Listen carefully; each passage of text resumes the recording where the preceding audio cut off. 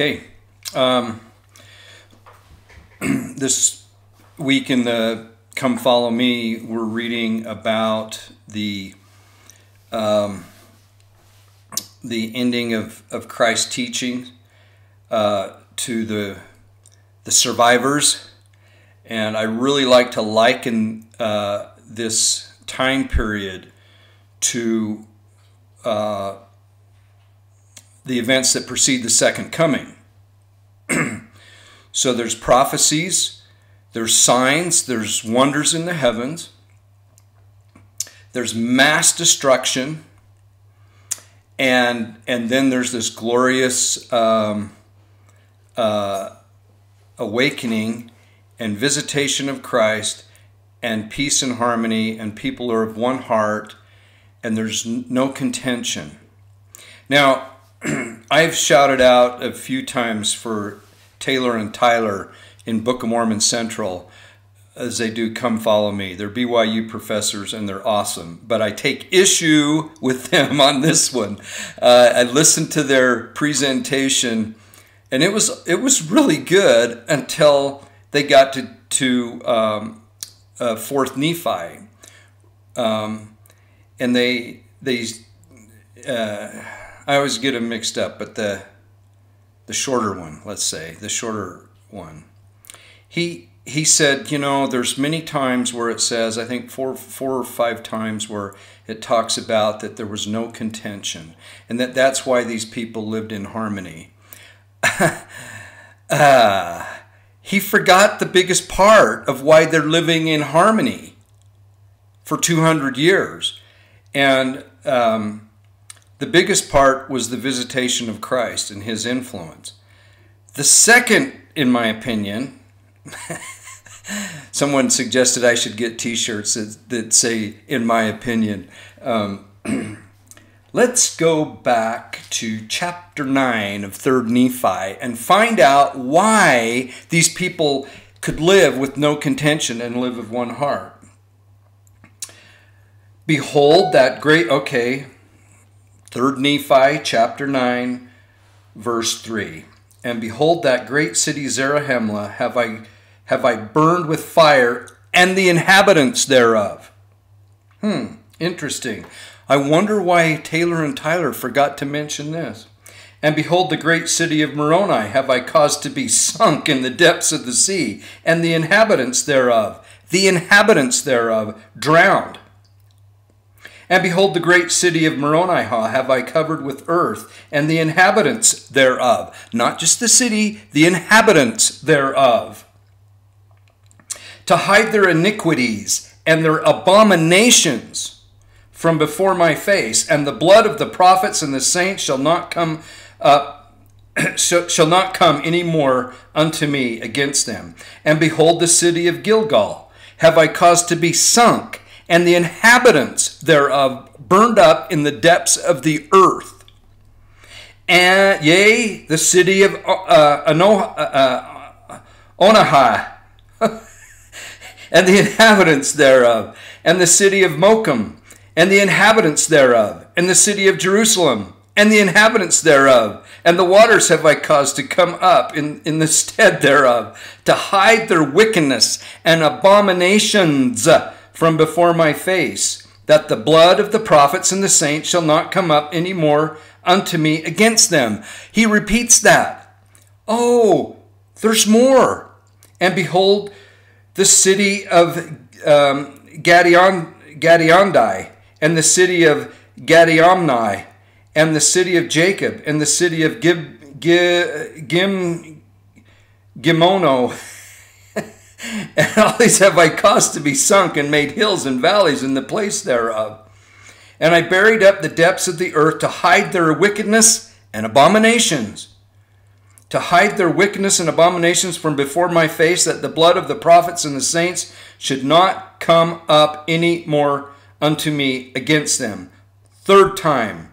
And then he goes more. And behold, the great city of uh, uh, Jacob Bugath, and the inhabitants by, by the king or by the people of King Jacob have I caused to be burned with fire because of their sins and wickedness, which was above all the wickedness of the whole earth because of their secret murders and combinations. Oh, secret combinations. Interesting. Yeah, there's none of the, no conspiracies nowadays. That's all just hogwash. For it was that they that did destroy the peace of my people and the government of the land. Therefore I did cause them to be burned, to destroy them from before my face, that the blood of the prophets and the saints should not come up unto me any more against them. A fourth time. and behold, the city of Laman, and the city of Josh, and the city of Gad, and the city of Kishkumen have I caused to be burned with fire, and the inhabitants thereof, and because of the wickedness and casting out the prophets and stoning, whom I did send to declare unto them concerning their wickedness and abomination. Fifth time. Sorry, I made the dogs jump. Um, and many great destructions have I caused to come upon the land and upon the people because of their wickedness and their abominations. Okay? So, do you think that the destruction of the wicked had just a little bit to do with the fact that people could live without contention? How could you leave that out? Taylor and Tyler, how could you leave that out? How could you leave that out? That all that destruction, all those cities, all the wickedness was destroyed so that a few people could live in harmony and, and have a society that was of one heart. That's a little detail that you might want to, you know, interject it in there. You know, not just that they didn't have any contention. And so we can have that. We can have that today. We can live in peace and harmony because you know, if we just try hard and have no contention among us, you know, we can do it. You know, it's really kind of bold because there's so much wickedness and abomination um, and and uh, um, conspiracies um, that are for real uh, that go on, and it makes it difficult. Makes it very difficult. But things are happening. Things are happening that uh, if we just look at this pattern in the Book of Mormon, there will be peace and there will be harmony. But there's going to be some massive destruction for those uh, that are finding themselves on the outside looking in. Outside looking in. Now, okay, I'm going to switch gears just a little bit. Just a little bit. Um, there's a there's a guy. I don't link anything. I'm sorry. I just I just don't do it. But his name is Derek Walker. He has a YouTube channel. He's a he's a minister in Oxford, England, of, of a church there, and he is really really good. And I credit a lot of this to him. However, I've had most of this in my mind already, and I've talked about it.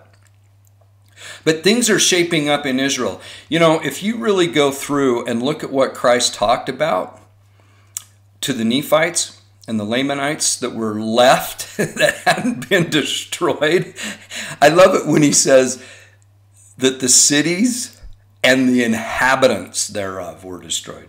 Okay. Um, okay, so Christ, when he's talking to the, to this remnant of people that were left, if you really look at it, I haven't really calculated it, but I would say he talks more about Jerusalem and Israel, the land of Israel, the old Israel, than he does about the new Jerusalem and about this land of America or the, the Americas. Okay? So, um, and, and I've referenced this a ton, but in, in the April uh, ensign, uh, where the prophet get, did an article. So this isn't the conference ensign. This is the month before, uh, last April. So, so the month before conference, April's conference, uh, which doesn't come out till May, the conference report. So this was the, the month before. The prophet gave a great uh, uh, discourse on the the future of the church and the preparing for the second coming of the Savior. And he actually referenced more about Jerusalem and Israel than he did about the Americas. So I think there are a lot of events that are going to take place there that we here in the in the perfect land of America we sometimes uh, ignore what's going on in the Middle East. So if we again, um, Derek Walker, um, YouTube, and and he's got this really pleasant British voice, and he's not of our faith, but he is a man of faith. I like that. I just made that up. Not of our faith, but a man of faith, a faith in Christ, and I really enjoy his knowledge of of the Old and New Testament and his knowledge of Israel. So um, I have to credit him as well as my own experience. So I've mentioned this in some other videos, but just this past March when the COVID thing was all coming down, my son and I were in Israel traveling, exploring on our own. And um, it was it was an amazing, miraculous trip and the things that we saw. So if you go if you go um, north of Jerusalem and west of the uh, the Jordan River, you have the West Bank, and it's it's you know the UN and others recognize that as as Palestinian controlled. Some some person uh, commented on one of my videos. It said I said Palestinian occupied, and man, was he offended that I would even say that because the Palestinians have been there forever. And I said, well, I guess you you don't uh, uh, believe in in in, uh, in in the the blessings of Israel. The blessings of Israel. That's what we're supposed to study, and the blessings of Israel and and the Abrahamic covenant are priesthood, posterity, and property. Hello, property, the land of Israel, and that includes the West Bank. So I will defend the right of Israel to have that land forever and ever and ever. Because that's what God said. So, yes, the Palestinians claim it and it's not theirs. Uh, God has, has uh, uh, covenant with Israel that that is their land.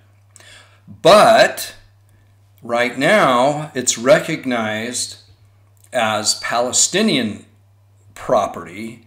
And it gets a little confusing because you still have an Israeli army that protects the borders of Israel that include the West Bank. So it gets confusing. Now, my son and I traveled through the West Bank extensively. And the, the scariest parts were um, I can't remember the current name of the town, but the old city of Shechem, where, where Jacob, Israel, dwelled and where his well, the Jacob's well, and the area where Joseph was sold to the caravan heading to Egypt. We were there. And um, it's a sketchy place, it's a scary place. Um, Cana, where Christ turned the water into wine. West Bank, Palestinian occupied, not a very pleasant place to be. Okay? Well, here's what's shaping up. Here's what's shaping up. If you go to, I would say from Ezekiel 34 or 35 to 38, um, you're going to see Gog and Magog. You're going to see uh, a phrase that shows up the mountains of Israel. The mountains of Israel. This is the West Bank because it is the mountainous area of Israel. It's not the coast. It's not along the Mediterranean. It's not along the in the desert at the Dead Sea. It's not. Um, it, it, it could include Jerusalem. Yeah, it's in the mountains and all the way north of Jerusalem. That's the mountainous area, all the way up to the to to uh, Galilee and the Golan Heights, even. Golan Heights are a little um, uh, uh um, east, um, and so they're east of of uh, north and east of of the uh, the, the Sea of Galilee. So um, it was a miracle and a wonderful blessing that, that the United States took the lead in recognizing the Golan Heights as, as uh, Israel, as Israel, because that's a key, key component to all this. Because right next to the Golan Heights, you have Syria. And then just west of the Golan Heights and west of Syria, you have Lebanon. And, you know, we've talked about this, but there's been some huge blasts there of ammonium nitrate. And, and uh, so, so here's what's shaping up, and here's what could, could be happening. And I, I really think that this is for reals. Um, it could happen very, very quick. So the prophecy in Ezekiel, particularly Ezekiel 38, and I'll let you read read those chapters, but it talks about the mountains of Israel. And and this is why this could happen. And this isn't to be confused with the with the, the, the battle of Armageddon. That will come later. That would be in the Jezreel Valley, and that would come from the Mediterranean, in my opinion, because that valley goes um, right to the Mediterranean and, and is not that far uh, north of Jerusalem. And that's where a huge battle could be. But prior to that is this battle. And it's going to come from the north. It's going to come from the north. And um, the Gog and Magog of this is probably Russia teaming up with Iran and you have Turkey involved. The the I can't remember the guy's name now, but the he's basically a dictator of Turkey. He's crazy in my opinion. And and so these countries are all teaming up together and guess where they could actually pull off a, a big war. Now, now in, in, Ezekiel 38, it talks about the last days, this is in the last days, and it says he will gather Israel. So we know that this is happening because in 1948, Israel became a state and the gathering started. So this comes after that, 1948. Of course, we had this the Six Day War in '67, and then and then um, um, pretty much the current situation we have now in Jerusalem and in Israel came as a result of the Six Day War in 1967, and and it's it's pretty dang complicated. Um, excuse me. So I don't have COVID, just a cough. So um, so if if these countries who are aligned with each other right now, and we're talking Russia, Putin, um, we're talking Iran, we're talking Turkey, and a couple of other smaller countries there, uh, all uh, um, aligned against Israel. Well, guess where they could go? To the mountains of Israel, which is what Ezekiel probably 34 through 38 talk about the mountains of Israel. So they're not talking about all of Israel. They're talking about the mountains, and that's the West Bank. That's the Palestinian controlled, I won't say occupied, the, the Palestinian controlled area of Israel.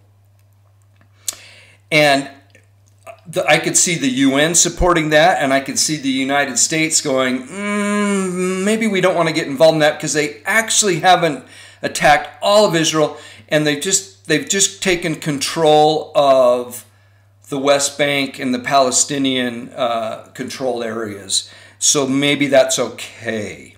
And, and it could happen because the Palestinians would want that to happen. And they're there, they live there.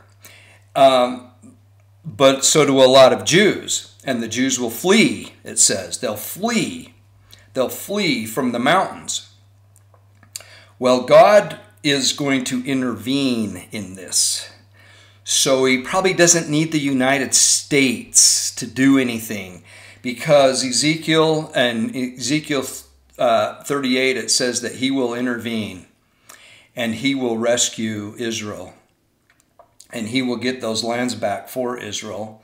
And uh, it, it, says that um, Gog and, and this is verse or chapter 39, just the heading. Gog and Magog are going to be destroyed, and for seven years, for seven years, they they'll burn the weapons of war. For seven months they bury the dead. Then comes the supper of the great God and the continued gathering of Israel. The continuing gathering of Israel in chapter 39. So this is a great opportunity for missionary work after after this uh, attack in the mountains of Israel, in the mountains of Israel. Now, I'm not I'm not a prophet. I'm not a spokesman for the Church of Jesus Christ of Latter-day Saints. I always say in my opinion, right? But this is really shaping up. And when we start studying and seeing more than a, a little picture of what's going on in in our little neck of the woods and start reaching out a little bit. That's one been one really awesome thing about this YouTube channel is is uh, I've been able to communicate with people from literally all over the world that that um, have a little different perspective than say you know people in the United States, particularly in the West, that just kind of, you know, we have our thing and we do our thing and we have a little discomfort here and there. But trying times are coming. And when we see that happening in Israel, get ready. Get ready. Now, that's not to say that we're not going to have issues here in the United States. I firmly believe we are. I think I think we're going to have shortages of food. I think our water's going to be comp compromised. I think um, uh, uh, other things are going to happen. Now, I had somebody ask, you know, where would be a good place to survive? You know, what what geographic area? So I don't really have a lot to say about that. I think it's more what's in our heart and what's our desire to let God prevail in our lives, as, as President Nelson said. I think I think that's more important than anything. But if you had a choice and you had the ability, I would obviously go to some place that the, the climate was was conducive to growing things and and to not be really harsh uh, either too hot or too cold. um, this porridge is too hot and this porridge is just right, right? Um, cold can be very difficult when things get tough, right? And and of course the heat, but the heat seems to be able to uh, we can handle I think better than the cold. So if you have a choice, that would be that would be something that you know if you're looking and you could move anywhere and do anything, I would go where I could grow a, a really nice garden, and anything else that that might be um, handy as far as animals or or whatever, chickens, um, you know, anything like that. Now, having said that, I wouldn't like leave a home that you're comfortable in and and that you have a, a, a place for you know a little garden or whatever um, or or particularly by family and loved ones I there's no way I'd leave that. Um, God knows our hearts and he'll qualify us and he'll he'll he'll ratify and sanctify the the effort that we've put in to, to do what we can do within reason. We, we don't, he doesn't require us to, to, to run faster than we can walk. No, that's not right. Anyway, he, he wants us to do things in a, in a calm way, right? So let's not do anything radical. But on the other hand, if we have a choice or we have the ability, yeah, that's that would be my recommendation. But I'm excited. I'm excited uh, as I study these things and and uh, look at other points of view. I love the timelines of of uh, uh many on YouTube that are members of the church. Um, I, I love the the research and the study. I think I think it, it gets us looking and pointing. I love all the comments about conference and let me say this too, while I'm rambling, covering a lot of topics today. Um, I, I don't want anybody to think that I'm going against the brethren when I when I point out the the government control about masks. The brethren wore masks during conference basically because they had to. Uh, they're compelled to in order for us to have any kind of ability to meet, uh, to do anything.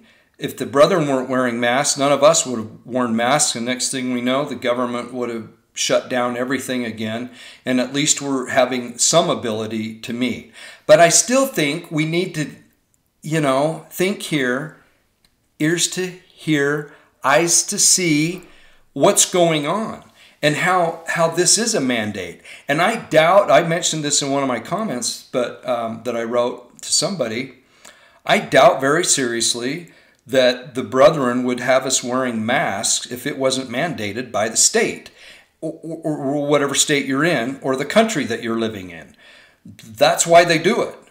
I don't think they randomly would have said, you know, we have this virus here and uh, nobody's asking us to do it, but I think it's a good idea that we wear it. We have we have the flu seasons. We have all kinds of things.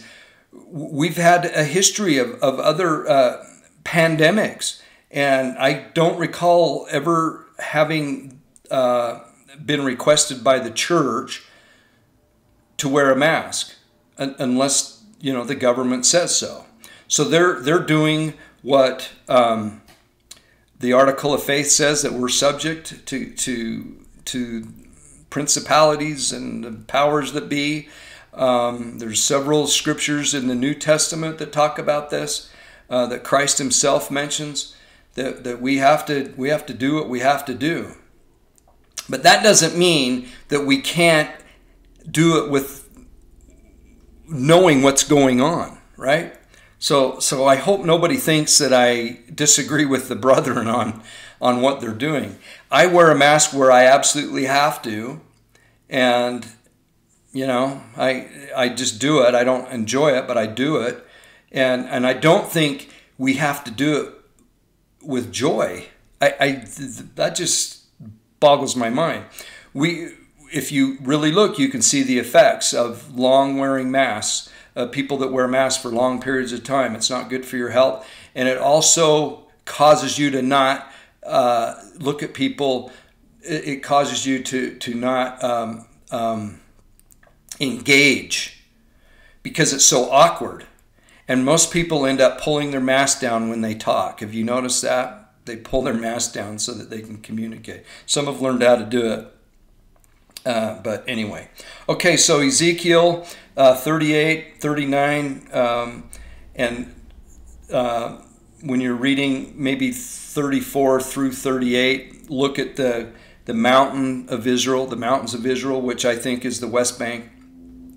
And I've talked about that before, and I've also uh, had that ratified by Derek Walker, um, which was kind of cool. You know when you when you have a thought or think of something and then someone else does that you know it happens all the time on these the, this youtube. Uh, the comments have been just so awesome. And even those that that i might not agree with or they might not agree with me generally they bring up some really good points. And so you know i've had i had uh, one that said you know i'm not going to subscribe anymore to this channel because i don't know if it was so much what i said but what other people said and you know, I, I hate to see that, but on the other hand, you know, if it's not your place, you know, I, I totally get that. But uh, uh, for the most part, I think it's been wonderful for me uh, to to hear and to listen and to learn from from everybody. Um, um, is it Dan Wilkinson? Dan Wilkinson, the the British uh, timeliner fascinating guy. And he, I, I, was listening to him this morning. He said that um, that his like favorite quote from forever was the quote from uh, President Eyring in the women's session of conference, where he said something like, and don't you know pin this on me because it's not exact, but something like, you know, you women and your daughters and their daughters, or your let's see, you, your daughters, and your granddaughters are going to be part of this preparation to welcome the city of Enoch. I mean, and I heard that and I wrote it down and it blew my mind. but just to hear him say that again and and bring it up, um, you know, I mentioned this. I I, I teach a, a mission prep um, in our stake, and uh, it's kind of a mission prep slash next ordinance class, and um, we team team teach, and it's it's just well we don't team teach, but we take turns. There's three of us that that teach, and it's just interesting to see the different perspectives and the different um, things that we got out of conference. Mine was all on preparation. uh, get ready, uh, it's coming. I can't wait, and all these exciting things. You know, we're talking about New Jerusalem. We're talking about the city of Enoch. We're talking about, uh, um, you know, the need for water and food, and you know, that's what I got. And other people got totally different things out of conference, which was great for them and awesome for them. But my focus is on this. So anyway, God bless y'all. Uh, the dogs have been good here, laying on the floor, and and uh, I apologize for the phone going off a, a time or two there.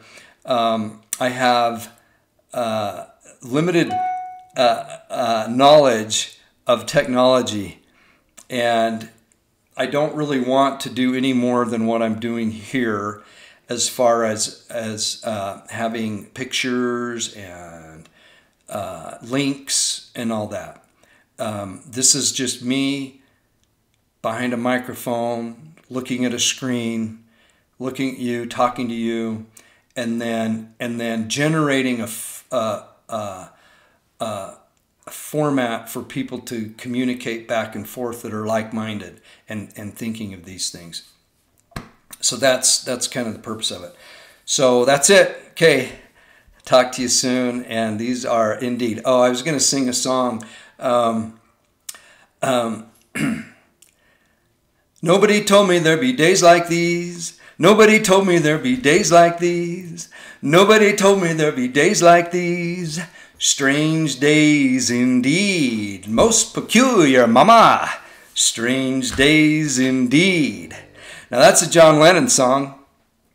And um, he's wrong because he said nobody told us there would be days like these. And he's wrong because we have Daniel, we have Ezekiel, we have Isaiah, we have Christ himself, we have Nephi, we, we have Mormon, we have Moroni, we have uh, John.